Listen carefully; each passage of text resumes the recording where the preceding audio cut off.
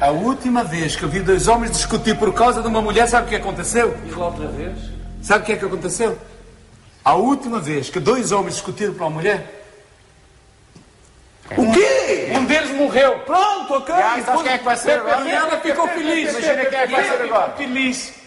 PPP com Cuidado, PPP. Mulher, mulher é sedutora.